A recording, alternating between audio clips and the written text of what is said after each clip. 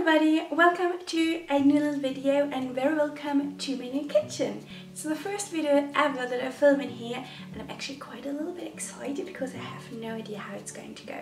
So I hope all of you are doing very well today and that you enjoy the gorgeous autumn mood which is all over the place already and I'm so excited. I love just autumn so much. It's definitely together with spring, my favorite time of the year.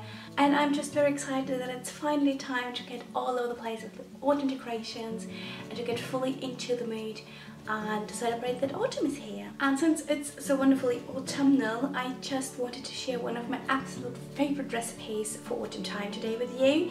Also, since this is the time to harvest and since all the apples are ripe on the trees and everything, I just thought I'd share a recipe with you including all those gorgeous, delicious, beautiful apples you can get everywhere at the moment. We've already had so many apples out of the garden this year and we are pretty much constantly cooking or baking apple everything because we just had so many. It's definitely more than five kilos already that we cooked and baked. I thought I might as well just show you and share a recipe with you which I really really love. And I can make a video about one of the um, apple cooking or baking sessions. Here they are. Look how pretty they are. Just perfect between red and green. So yes let's do something with those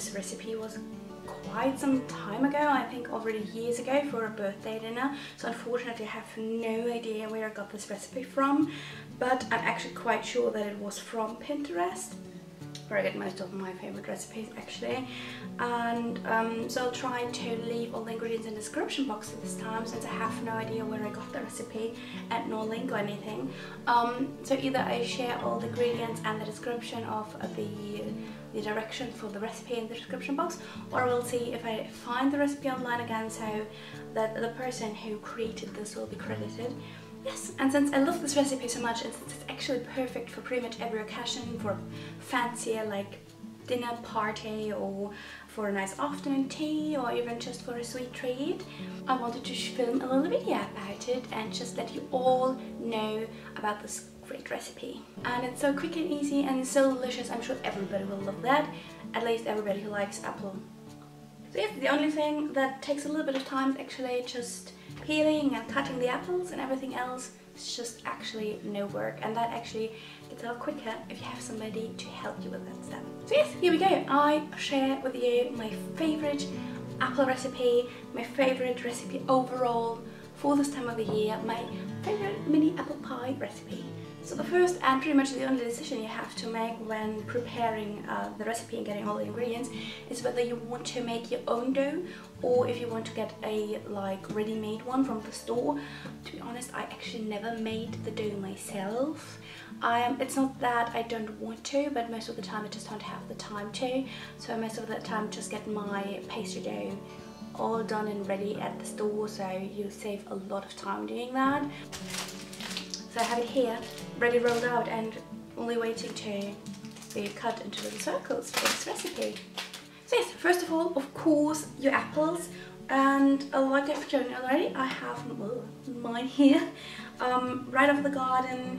And um, yes, so let's get started with those ones. Since I'm going to peel them anyway, um, there's not much sense in washing them, but you, of course you can wash them anyways if you like that more. But of course it's totally your decision, you can leave the peel on. Um, I don't think that it changes a lot in uh, the taste, but of course uh, the peel stays a lot harder than uh, the flesh of the apple.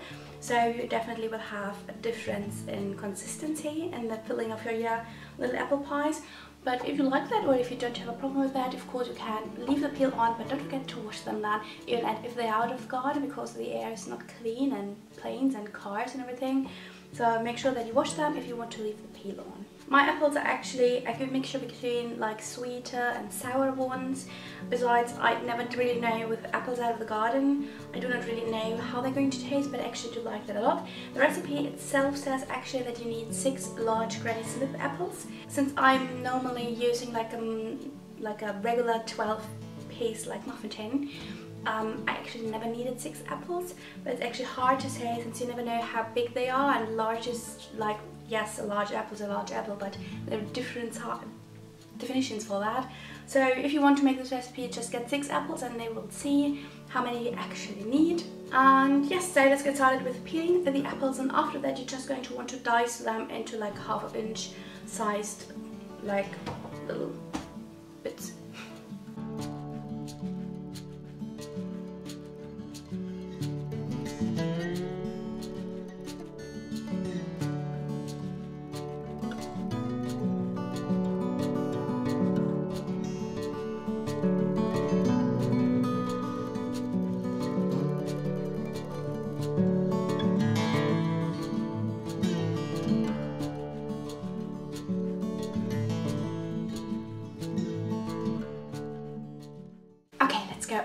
And after peeling and cutting the apples the magical bit kind of starts or if I'm not over exaggerating let's do um, the delicious part starts. I never actually used less apples because to be honest uh, the next step will give you a delicious dessert even if you do not need all of your apples because just all of your apples go into a pot or into a pan. I prefer a pot to be honest mainly because it's a lot easier to mix everything and in a pan I always I tend to just throw everything anywhere because I'm not like I am a slow stirring cook or baker.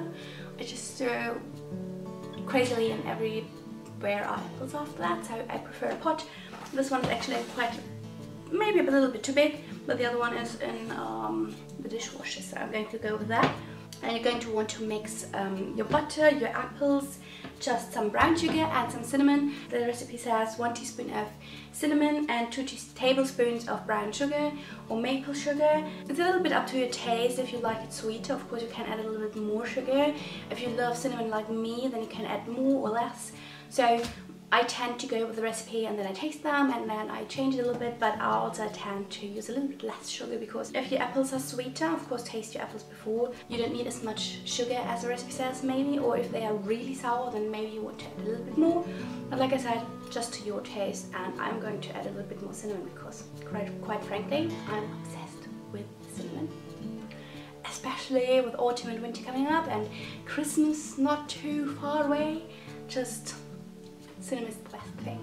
Bring it to a boil and yes, as soon as they boil, reduce the heat because you do not want to overcook your apples because they are going to get very mushy and because they're going in the oven afterwards, make sure that they are just a little bit softer like when you pierce it with a fork, just that you can pierce them but they are not falling apart. So now my apples are ready. It's actually so delicious, honestly, even though you do not need uh, six apples, just make them because this. It's just so good. And maybe I can even serve this together with the little cakes.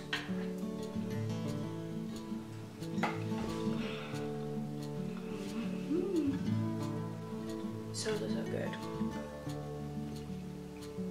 You can now begin to prepare your dough. Depending on if you have a fresh dough or a bought one, um, you're going to want to just roll it out if it's your own dough of course so get your dough out of the fridge and roll it out if you make your own. Otherwise just your bought one out of the packaging. So first you're going to want to create the bottom of your little pies. Of course the thing that goes into the muffin tin and it's actually really easy from here on. You just get a cup or a mug or a drinking glass or whatever that fits size wise for your muffin tin.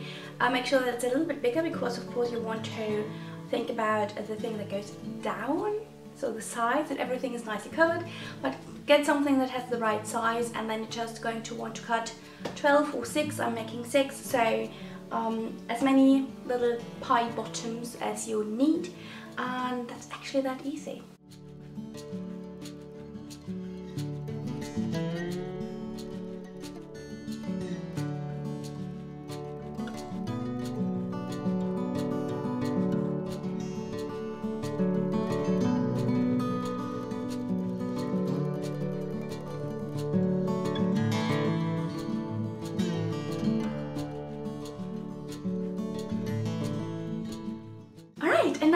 we have all the little bottom thingies for our pies. because the filling wants to go in, so get your pot and a nice spoon. I always add like two to three tablespoons. You really want to stuff it in there. But also I made the experience that if you put too much of your filling in, it's a little bit harder to close them up later on. Um, but actually totally up to you, I would say. It's just, in my experience, a little easier if you do not stuff it too much. But get a lot of apples in there because it's the delicious part and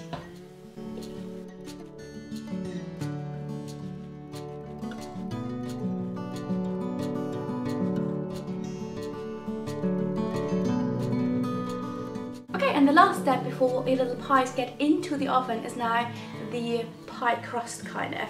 So the recipe says, and it's actually what I made so far most of the time, is that you cut another set of little circles, just smaller ones because they just want to cover your little pies. Just cut them out and make them ready to go on top of your little pies.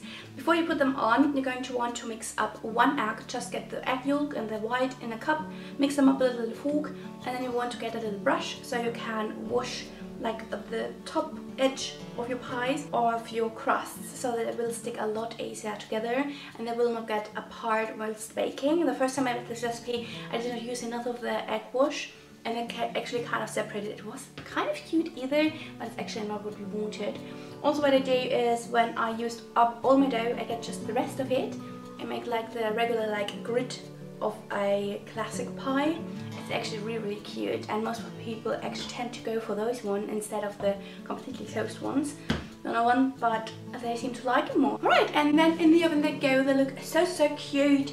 So I can't wait to see how they turn out this time. Also what you can do to make them nice and golden is just wash the top of either your circles or your grid with a little bit more of the egg wash. And they will turn out so, so, so pretty, golden and very, very deliciously looking. Alright, and now that everything is prepared, you're going to want to put your little pies into the oven. I preheated it to 180 degrees and um, the recipe says for about 30 to 35 minutes if I'm not mistaken. Yes, it does. Most of the time it actually takes a bit long, I would say. Also, uh, make sure that the bottom is nicely baked because I often had the problem that the top was very pretty nice, but the bottom because of the soggy like apple filling um, it gets quite soggy on the bottom so you want to make sure that everything is nicely baked through. And yes so 35 minutes is most of the time a good um, thing but I don't know how your oven bakes. Every oven is a little bit different. So maybe set your timer to 30 minutes and then you will see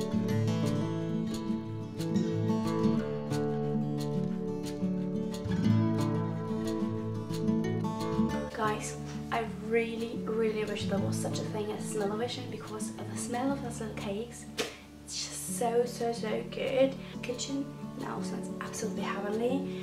They look so delicious and yummy and pretty. Look at those. So cute, honestly. Of course, I would recommend that you leave them in the little trays for a minute just make sure they cool down and that everything stays together because of course all the apple juice and everything came out a little bit and to make sure that you do not ruin them when trying to get them out of the little tin. Just leave them a little for a short moment and then you can get them out. Now the absolutely best way to serve these now will be with a little bit of powdered sugar and maybe a little bit of vanilla ice cream. Unfortunately, I totally forgot to get, to get vanilla ice cream. But you know what? I'm just going to show you how gorgeous they look with a little bit of powdered sugar on top. They will be just as delicious.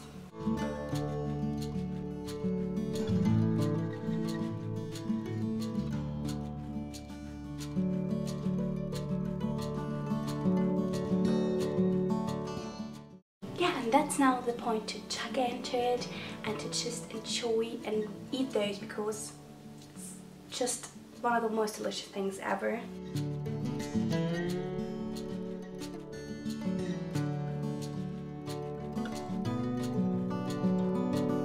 Yes, I hope that you will enjoy this little recipe when you recreate it or if you just know think I have apples lying around and I really want to try it then I hope you will enjoy this recipe and my little mini apple pies. Maybe soon. Also don't forget to let me know if you try them and share your pictures with me. I would love to see it and how you create them and how you decorate them. Of course you can do everything with the rest of the dough. Maybe cut little leaves or whatever you want to do, flowers and decorate them like um, most of the apple pies or other pies are often decorated. It's so cute and you can do so many creative and cute things.